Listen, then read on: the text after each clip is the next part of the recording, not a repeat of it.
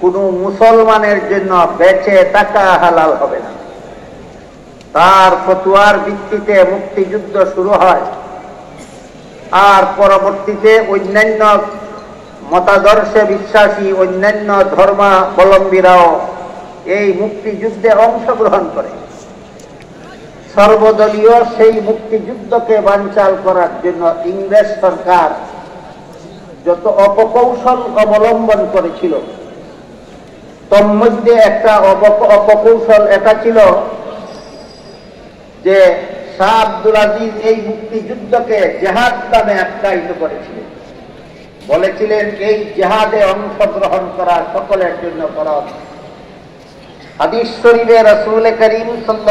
ইসলাম বলেছেন, আল জেহাদু মাযিন ইলা ইয়াউমিল কিয়ামা।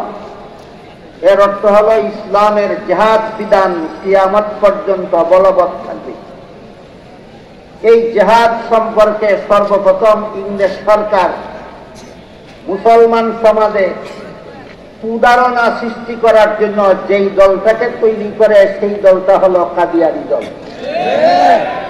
যেহেতু মুক্তিযুদ্ধ জেহাদের নামে চলছিল, এই জন্য জেহাদকে কলুষিত করতে পারলেই মুক্তিযুদ্ধ বানচাল হয়ে যাবে। মুক্তিযুদ্ধ বানচাল হলেই ইংরেজের শাসন ক্ষমতায় দেশে স্থায়ী হয়ে যাবে। তাই ইংরেজ সরকার একজন নূতন নবীর অপেক্ষায় ছিল, যিনি মুহাম্মদ নবীর ঘোষণাকে ক্যান্সেল করে দিয়ে নূতন শরীয়ত চালু করবেন।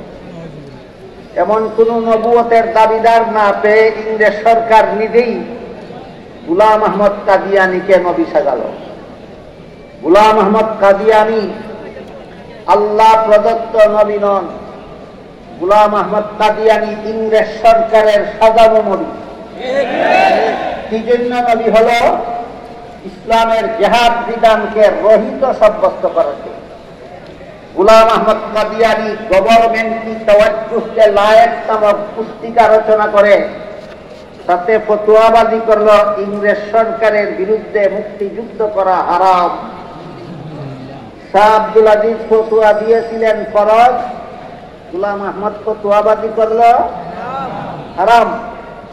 সুতরাং আমাদের স্বাধীনতাকে স্বাধীনতা যুদ্ধকে বানচাল করার জন্যই এই গুলাম আহমদ কাদিয়ানির দলটা প্রতিষ্ঠিত। তাই গুলাম আহমদ কাদিয়ানির প্রতিষ্ঠিত কাদিয়ানি দল শুধু মুসলমানের শত্রু নয়, শুধু ইসলামের শত্রু নয়, সে উপমহাদেশের সবগুলি স্বাধীন দেশের স্বাধীনতার শত্রু। সে ভারতের স্বাধীনতার শত্রু। সে পাকিস্তানের স্বাধীনতার শত্রু। সে বাংলাদেশের স্বাধীনতার শত্রু। তিন দেশের যারাই নিজেদের দেশের স্বাধীনতাকে ভালোবাসেন তারা এই স্বাধীনতার শত্রুকে কোনো অবস্থায় মেনে নিতে পারেন না। বাংলাদেশ সরকার যদি স্বাধীনতাকে ভালোবাসে, তাহলে বাংলাদেশের স্বাধীনতার শত্রু কাদিয়ানি দল এদের বিরুদ্ধে ব্যবস্থা গ্রহণ না করে বাংলাদেশের কোন সরকার নীরব দর্শকের ভূমিকা পালন করতে পারে না। বাকিগুলো অনেকের বুঝে আসে না, মাঝে মধ্যে দেখা যায় যে কেন কাফির? কাদিয়ানিরা কাফির কেন? আল্লাহ পবিত্র কোরআনের সুরায় আহজাবের চল্লিশ নম্বর আয়াতে আমাদের নবীকে খাতামান নাবিগিন বলেছেন। এই শব্দটা স্মরণ রাখতে পারেন সবাই, খাতামান নাবিগিন হাদিস শরীফে করিম ইসলাম তার অর্থ করেছেন, আনা খাতামুন নাবিয়িনা লা বাদি। আমাকে যে আল্লাহ খাতামুন নাবিয়িন উপাধি দিয়েছেন, এর অর্থ হলো আমি শেষ নবী। কোরআনে বলেছেন, খাতামুন নবী, হাদিসে রসুল বলেছেন এর অর্থ শেষ নবী। সুতরাং কাদিয়ানিরা যেহেতু আমাদের নবীকে শেষ নবী মানে না, তাই তারা কোরআনও মানে না, হাদিসও মানে কেমন মুসলমান?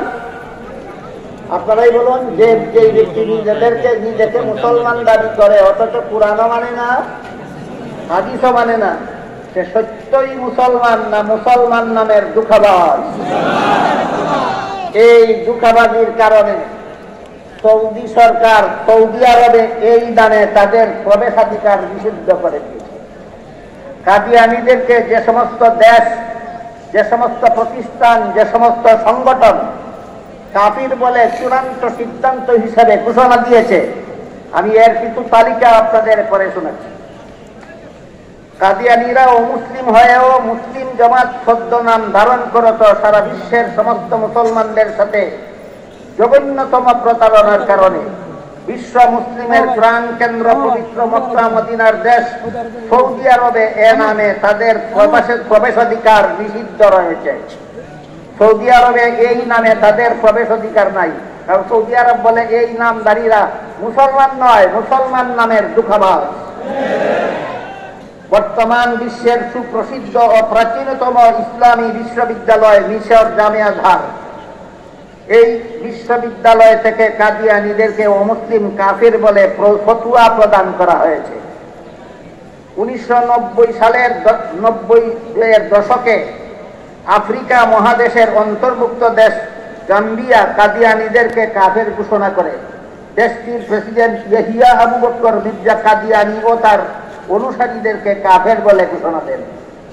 উনিশশো চুয়াত্তর সালে পাকিস্তানের জাতীয় পরিষদ সর্বসম্মতিভাবে, সর্বসম্মতিক্রমে কাদিয়ানিদেরকে অমুসলিম কাফের ঘোষণা করে। উনিশশো পঁয়ত্রিশ সালের সাতই ফেব্রুয়ারি ব্রিটিশ শাসন আমলে বাওয়ালপুরের জেলা জজ মোহাম্মদ আকবর সাহেব রায় দিয়েছিলেন যে, কাদিয়ানিরা কাফের এবং ইসলাম থেকে বহির্ভূত। সেই মামলাটি মোকদ্দমায় ভাওয়ালপুর হিসাবে পরিচিত। উনিশশো সাতাশ সালে মরিশাসের প্রধান বিচারপতি কাদিয়ানিদেরকে কাফের ঘোষণা করেন। উনিশশো বিরাশি সালে মালয়েশিয়ার উপপ্রধানমন্ত্রী জনাব আবু মুসা ইহাম কাদিয়ানিদেরকে কাফের ঘোষণা দেন। উনিশশো সালের দশই এপ্রিল রাবেতায় আলমে ইসলামীর সদর দপ্তর মক্কা মুকরমায় একশো চুয়াল্লিশটি ইসলামী সংগঠনের এক আন্তর্জাতিক মহাসম্মেলন অনুষ্ঠিত হয়, যা ছিল মরক্কো থেকে ইন্দোনেশিয়া পর্যন্ত সমস্ত মুসলিম উম্মার প্রতিনিধি সম্মেলন। এ সম্মেলনে সর্বসম্মতিক্রমে ঘোষণা করা হয় যে কাদিয়ানিরাও মুসলিম কাফের। উনিশশো পঁচাশি সালের বাইশ থেকে আঠাইশ ডিসেম্বর পর্যন্ত ছয় দিন সৌদি আরবে জিদ্দা সৌদি আরবের জিদ্দায় ওআইসির অঙ্গ সংগঠন ইসলামী শাখা একাডেমির এক মহাসম্মেলন অনুষ্ঠিত হয়। সেই সম্মেলনে কাদিয়ানি ফিতনা সম্পর্কে আলোচনা ক্রমে সিদ্ধান্ত গৃহীত হয় যে, ইসলামী শরীয়তে অকাট্যভাবে প্রমাণিত হজরত মুহাম্মদ সাল্লাহ ইসলামের শেষ নবী হওয়া কাদিয়ানিরা অস্বীকার করার ফলে মির্জা কাদিয়ানি ও তার সকল অনুসারীরা কাফের এবং মুরতাদ উল্লেখ্য যে ওআইসির ফেকা একাডেমির সিদ্ধান্ত ইসলামী সম্মেলন সংস্থার পঞ্চাশটি দেশের এই সিদ্ধান্ত হিসাবে গণ্য হয়। এ কারণে এ সকল দেশের কারণ এ সকল দেশের সরকারই এর সদস্য।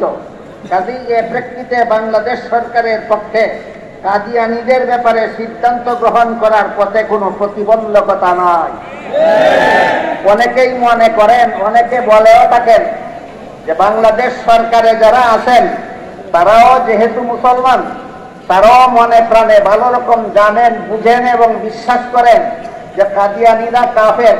কিন্তু রাষ্ট্রীয়ভাবে এটা ঘোষণা দিলে তারা বহির্বিশ্ব থেকে চাপের সম্মুখীন হবেন এইটা একটা গুজব ছাড়া আর কিছু নয়। ওআইসি সম্মেলনে বাংলাদেশ বাংলা ওআইসির সদস্য বাংলাদেশ ওআইসির সম্মেলনে চূড়ান্ত ঘোষণা দেওয়া হয়েছে, কাদিয়ানি কাফের। এর মানে হলো কাদিয়ানি কাফের এই কথার পক্ষে রাষ্ট্রীয়ভাবে বাংলাদেশ একমত। যেখানে বাংলাদেশ রাষ্ট্রীয়ভাবে একমত, এখানে কাদিয়ানিদেরকে বাংলাদেশ সরকার কাফের ঘোষণা দিলে বহির্বিশ্বের চাপের মুখে ভরার গুজব থেকে আপনারা সতর্ক থাকবেন। আর সর্বত্রই এই সমস্ত ফতুয়ার ভিত্তিতে আমরা আওয়াজ করি কাদিয়ানিরা কাফের কাদিয়ানিরা কাফের কাফের কাফের কাদিয়ানি কাফের